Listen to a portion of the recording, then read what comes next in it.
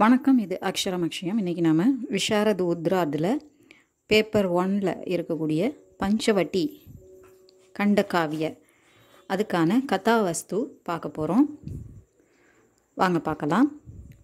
பஞ்சவட்டி இதை எழுதின இந்த காவியத்தை கண்டகாவியத்தை எழுதின கவிஞர் பெயர் மைத்திலி சரண் குப்து கவி பரிச்சய. राष्ट्रकवि मैथिली चरण गुप्त से रचित खंड काव्य है पंचवटी ஸோ தேசிய கவியான மைத்ரி சரண் குப்த் அவர்களால்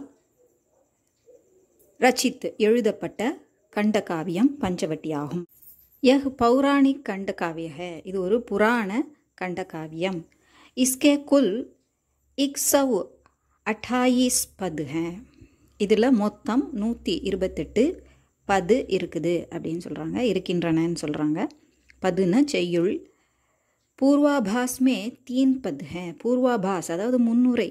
ஸோ அந்த பஞ்சவட்டி அப்படிங்கிற அந்த இடத்துல நடக்கக்கூடிய நிகழ்ச்சி தான் இந்த கண்டகாவிய. ஆனால் அதுக்கு முன்னால் கொடுக்கக்கூடிய இன்ட்ரோடக்ஷன் இருக்கும் இல்லையா? முன்னால் இருந்த கதைகள் நடந்த நிகழ்வுகள் அதெல்லாம் சொல்லக்கூடியது மூன்று பத்தாக இருக்குது. மூன்று செய்யுள்கள் இருக்கின்றன. இஸ்மே ராமாயண் கி ஏக் கட்னா கா சஜீவ் வர்ணன் கியா கயா ஹே ஸோ ராமாயணத்தில் இருக்கக்கூடிய ஒரு நிகழ்வு நிகழ்ச்சி. அதை சஜீவ் வர்ணன் ரொம்ப லைவாக வர்ணிக்கப்பட்டிருக்குது அப்படின்னு சொல்லியிருக்கிறாங்க.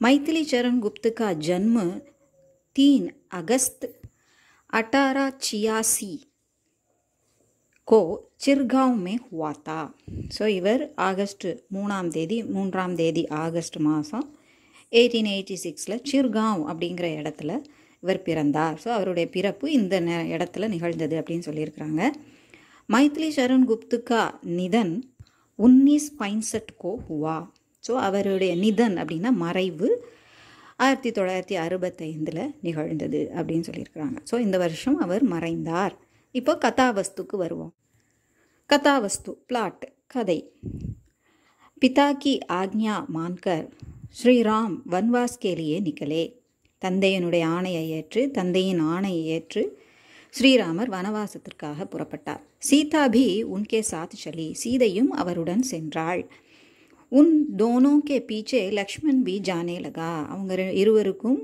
பின்னாலேயே அவங்க பின்னாலேயே லக்ஷ்மணனும் புறப்பட்டான் அதை அவனும் சென்றான் ஸ்ரீராம் நே லக்ஷ்மண் கோ ரோக்னா சாஹா மகர் உஸ்னே நகிமானா ஸ்ரீராம் அவரை தடுக்க பார்த்தார். லக்ஷ்மணனை தடுக்க முயற்சி செஞ்சார். விரும்பினார். ஆனாலும் அவர் அதை ஏற்றுக்கொள்ளவில்லை. பிடிவாதமாக கூட வரார். உஸ்கா பியார் தேக்க ஸ்ரீராம் உஸ்கோ பி அப்னே சாத்து லேகையே. அவருடைய அன்பை பார்த்துட்டு ஸ்ரீராம் லக்ஷ்மணனையும் தன்னுடன் அழைத்து சென்றார்.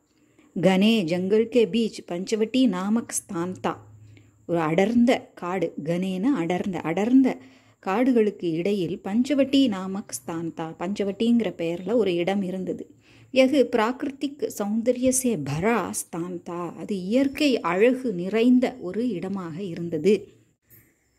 ஸ்ரீராம் சீதா और லக்ஷ்மண் தீனோ வஹி பர்ணக்குட்டி பனாக்கர் ரகனேலகே ஸோ இவங்க மூணு பேரும் அங்கேயே பர்ணக்குட்டி புற்களால் வைக்கோல்களால் ஆன ஒரு குடிசையை அமைத்து வசிக்க துவங்கினர் அப்படின்னு சொல்லியிருக்கிறாங்க. ராத்கோ ராம் அவர் சீதா குட்டியுமே சோத்தேத்தே அவர் லக்ஷ்மண் பாகர் பெஹரா தே தாத்தா இரவு நேரம் வரும்போது அவங்க ரெண்டு பேரும் உள்ளே தூங்குறாங்க உறங்குறாங்க. அந்த குட்டிக்கு வெளியில் மிருகங்கள் எதுவும் தாக்கிடக்கூடாது இல்லையா? அதனால் இரவு முழுதும் விழித்திருந்து லக்ஷ்மணன் பெஹரா தே தாத்தா காவல் காற்று கொண்டு இருந்தான் காத்து கொண்டு இருந்தான். ஏக் ராத்கோ லக்ஷ்மண் ஏக்கு பத்தர் பர் பைட்டாத்தா? இதே மாதிரி இது ரொட்டீனாக இருந்தது. இதே மாதிரி ஒரு இரவில் அவர் வந்து நம்ம நம்மளுடைய இந்த பஞ்சவட்டி கண்டகாவியில் காமிக்கக்கூடிய அந்த நிகழ்ச்சி நடந்த அந்த இரவில் அதை தான் இதில் சொல்லியிருக்கிறாங்க. ஒரு இரவில் லக்ஷ்மணன் வந்து ஒரு பாறை மேலே உட்காந்துருக்கிறார் பூரி துனியா சோதித்தி மகர் வகு ஜாகா குவாத்தா. இந்த முழு உலகம் முழுவதும் உறங்கி கொண்டிருக்கும் அந்த வேளையில் உறங்கி கொண்டிருந்தது. ஆனால் இவன் லக்ஷ்மணன் விழித்து கொண்டிருந்தான் அப்படின்னு சொல்கிறாங்க வகு அப்பனே மன்மே யோம் சோச்சனே லகா சாந்தினி ஸ்வச்ச ஹே அவன் தன் மனதுக்குள்ளே நினைக்கிறான் லக்ஷ்மணன். இந்த நில ஒளி ரொம்ப தூய்மையானதாக இருக்குது ரொம்ப கிளியராக இருக்குது அப்படின்னு தன் மனசுக்குள்ளே நினச்சிக்கிறார். ராத் அந்தேரி ஹே இரவு இருண்டு இருக்குது இந்த நேரம் பிரகிருதி கபி ஆறாம் நெய் கர்த்தி இயற்கை ஒருபோதும் ஓய்வு எடுப்பதில்லை தேரகு வருஷ பீத் சுக்கே ஹேன் மகர். சப் பாத்தேன் தில் மே தாசி ஹேன் பதிமூன்று வருடங்கள் கழிந்து விட்டன இங்கே வந்து. ஆனாலும் எல்லா விஷயங்களும் எல்லா சப் பாத்தேன் அனைத்து விஷயங்களும் தில் மே தாசி ஹேன் நம்ம மனதில் இன்னும் புதியதாகவே புத்துணர்வோடு இருக்கிறது ஃப்ரெஷ்ஷாக இருக்குது அப்படின்னு சொல்கிறார். ஜல்தி ஹி வன்வாஸ் பூர்ண் ஹோனே வாலா சீக்கிரமே இந்த வனவாசம் முழுமையடைய போகிறது போகிறது கம்ப்ளீட் ஆக போகுது. அப்போ ஸ்ரீராம் ராஜா பனேங்கே அவரு பிரஜாவுங்கி ரக்ஷா கரேங்கே. அங்கே போனவுடனே ஸ்ரீராம் ராஜாவாக ஆவார் பிரஜாவை காப்பாற்றுவார் அதாவது மக்களை காப்பாற்றுவார் அப்படின்னு தான் மனசுக்குள்ளே நினைக்கிறார். மாதா கைகையினே பெஹலே பாயி ராம்கோ வன்மே பேஜ்தியா அவர் பேர் சித்திரக்கூட்டுமே துக்கு வியக்து கியா தாய் கைகேயி தாய் முதல்ல என்ன செய்கிறா ராமனை காட்டுக்கு ராமனை காட்டுக்கு அனுப்புகிறா அதுக்கப்புறம் கொஞ்ச நாள்லையே வருத்தப்பட்டு என்ன செய்கிறா சித்திரக்கூட்டில் வந்து சந்தித்து தன்னுடைய துக்கத்தை வெளிப்படுத்துகிறாள். வியக்திக்கியான வெளிப்படுத்துகிறாள். லோகு ராஜ்யக்கோ படா மாந்தேன் மக்கள் ராஜ்யந்தான் பெருசு அப்படின்னு நினைக்கிறாங்க. வாஸ்தவமே வகு துச்சக உண்மையிலே அது ரொம்ப சாதாரணமானது. பாயி ராம் கஹி பி ரஹே ராஜா ஹி ஹேன் என்னுடைய சகோதரனான அண்ணன் ராமன் எங்கு வசித்தாலும் சரி எங்கு இருந்தாலும் சரி அங்கே அவர்தான் ரா ராஜ்யம் செய்வார் அவர்தான் ராஜா. இஸ் வன் பி உன்கா ஹி சாசன் சல்தா ஹே. இந்த காட்டிலும் இவருடைய ஆட்சி தான் நடக்குது. யஹாங்கே பசு பக்ஷி பாபிகா ஸ்னேஹ் பார்க்க பிரசன்ன ஹே. இங்கே இருக்கக்கூடிய விலங்குகளும் பறவைகளும் பாபி அண்ணியின் சிநேகத்தை பெற்று அன்பை பெற்று பிரசன்னக மகிழ்ச்சியோடு இருக்கின்றன. கோதாவரி நதி கீத் காத்தி ஹுயி பகத்தி ஹே. இங்கே ஓடக்கூடிய இந்த கோதாவரி நதி பாடல் இசைத்து கொண்டு இசை இசைத்து கொண்டு ஓடுகிறது. அயோத்தியாமே ஹமாரே ரிஷ்தேதார் சோச்சேங்கே. सोचते होंगे कि हम वन में துக்கி ஹோங்கே அயோத்தியாவில் இருக்கக்கூடிய நம்ம உறவினர்கள் எல்லாம் நம்ம சொந்தங்கள்லாம் என்ன நினைப்பாங்க நாங்கள் என்னவோ இந்த வனத்தில் ரொம்ப துக்கத்தோட கவலையோட இருக்கிறோம் போல் இருக்கு அப்படின்னு மகர் ஹம் லோக் யஹா பிரசன்ன ஹே ஆனால் நாங்கள் இங்கே ரொம்ப சந்தோஷமாக இருக்கிறோம் உன்கோ ஏக் பார் யஹா லே ஆனா சாஹியே அவங்களையும் இங்கே ஒரு முறை அழைத்து வர வேண்டும் அப்படின்னு அவன் நினைக்கிறான். இங்கே உள்ளது நம்ம என்னமோ காட்டுக்கு போகிறதுனா கஷ்டம்னு நினச்சோம். ஆனால் இங்கே தான் அங்கே இருக்கிறத விட ரொம்ப சந்தோஷமாக இருக்குது அப்படிங்கிறத அவர் உணர்றதுனால இந்த இடத்துக்கு அவங்களையும் ஒரு தடவை அழைச்சிட்டு வரணும் அங்கே உள்ளவங்களையும். இந்த இன்பத்தை அவங்களும் பெறணும் அப்படின்னு அவன் நினைக்கிறான். சுற்றி காமிப்பதற்காக அழைத்து வரணும் அப்படின்னு லக்ஷ்மணன் நினைக்கிறான். மேரி பத்னி ஊர்மிளா பி மேரி சிந்தாமே ரோத்தி ஹோகி. என்னுடைய மனைவி எனது மனைவி ஊர்மிளாவும் என் என்னை பற்றிய இந்த கவலையில் அழுது கொண்டிருப்பாள்.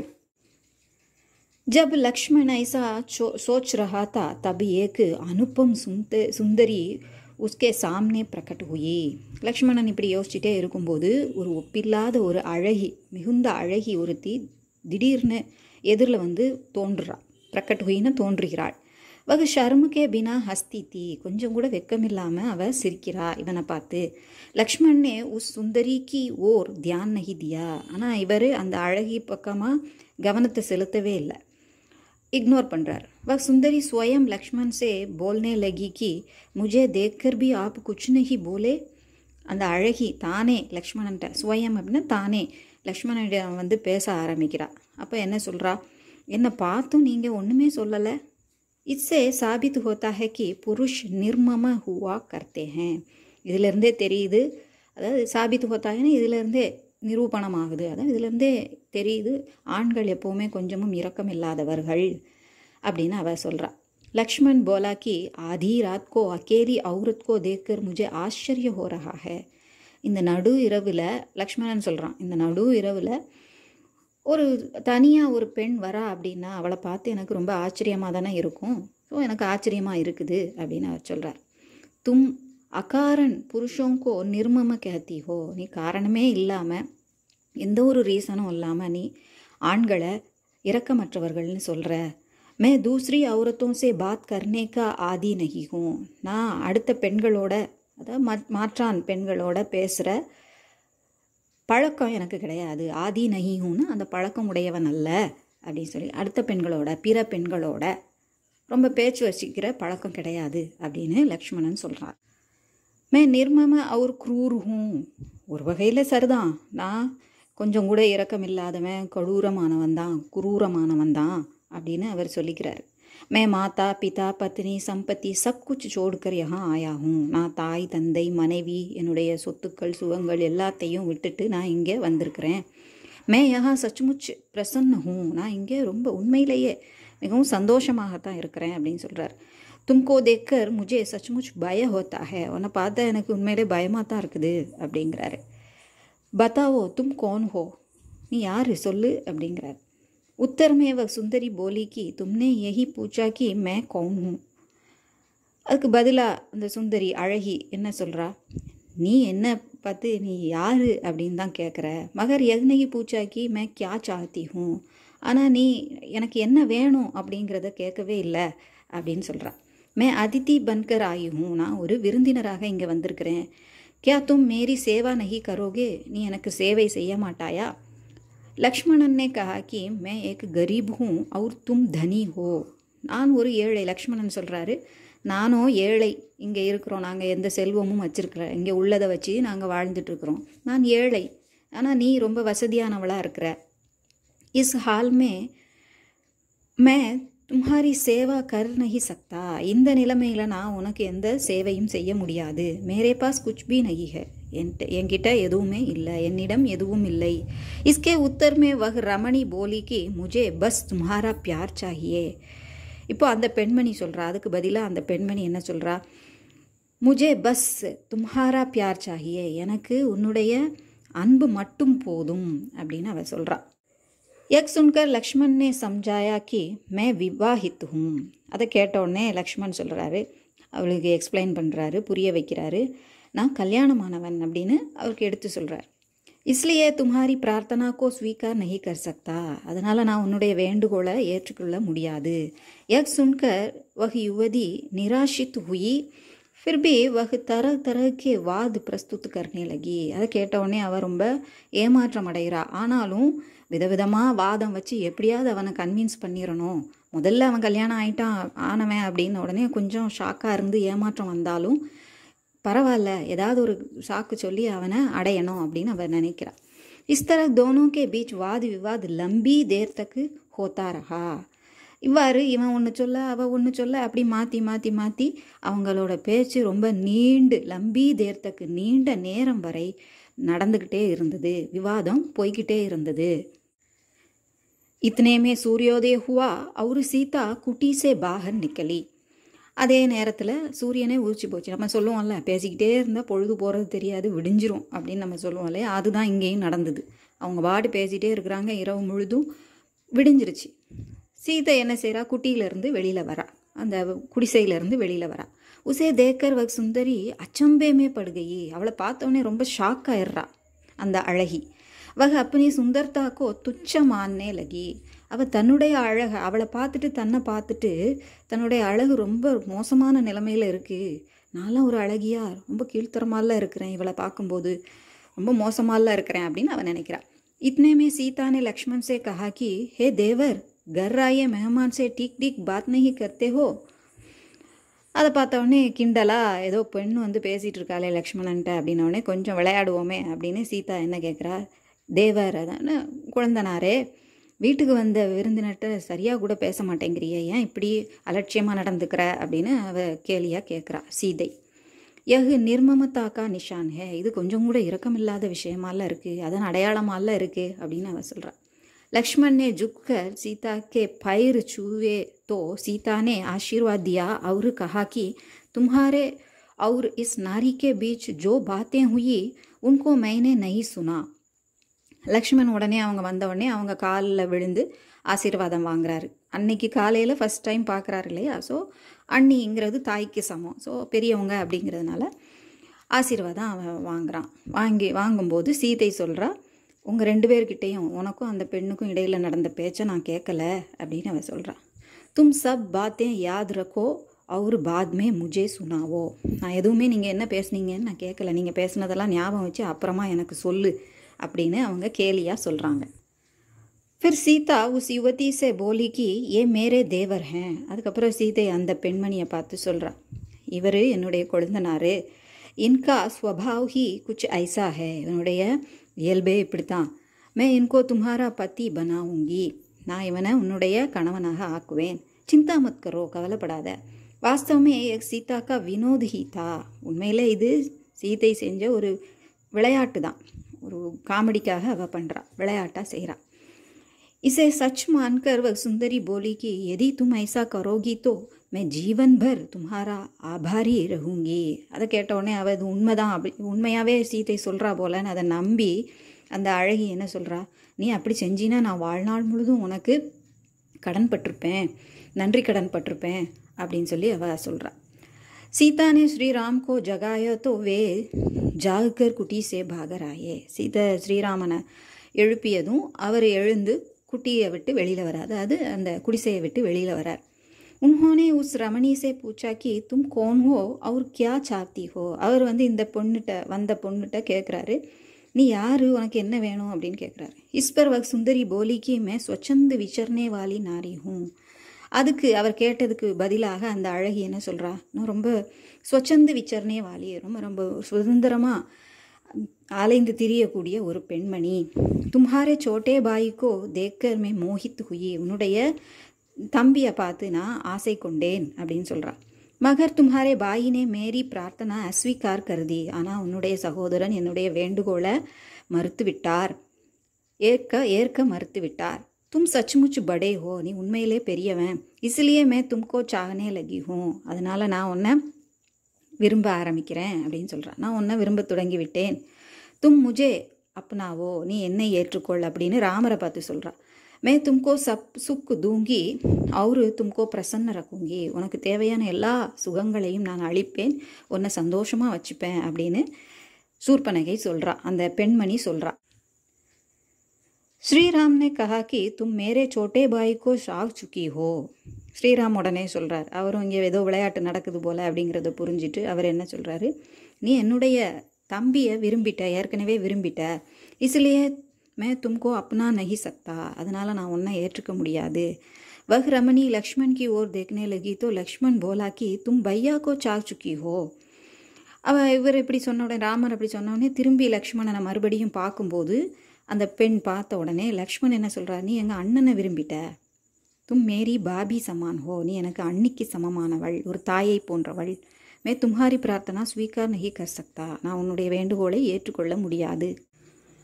தோனோ கா உத்தர் சுன்கர் சுந்தரிக்கோ அப்பார் குரோதுகுவா ரெண்டு பேரோட பதிலை கேட்ட உடனே ரெண்டு பேரும் பந்தாடுறாங்கன்னு சொல்லி அவளுக்கு ரொம்ப அப்பார் எல்லை அடங்காத அளவில்லாத கோபம் அவளுக்கு வந்தது.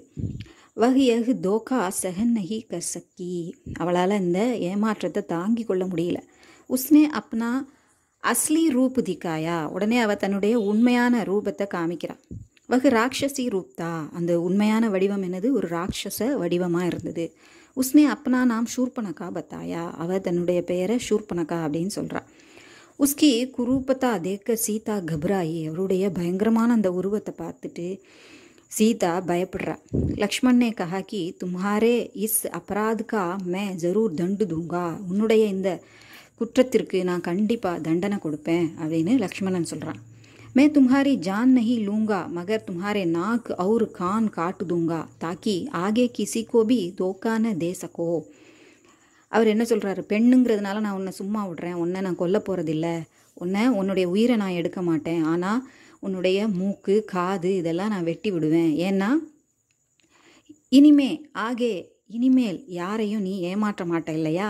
ஏமாற்றக்கூடாது இல்லையா? அப்படின்னு அவர் சொல்கிறார் இத்னா கேக்கர் உஸ்னே ஷூர்பனா காக்கே நாக்கு அவரு கான் காட்டுதியே அப்படி சொல்லிக்கிட்டே அவர் மூக்கையும் காதையும் வெட்டிடுறாரு.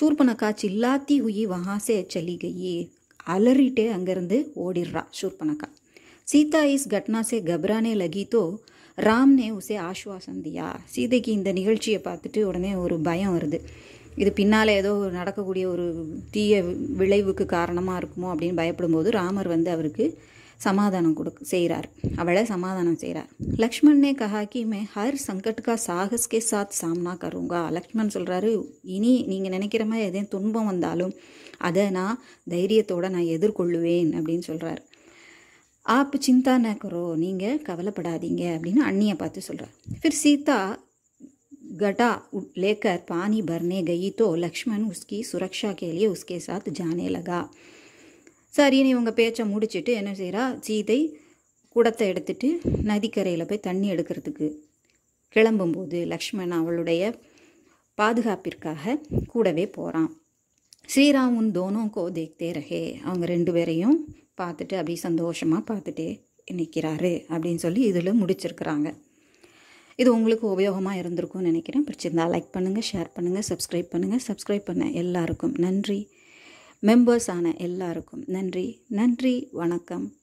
தன்யவாத்.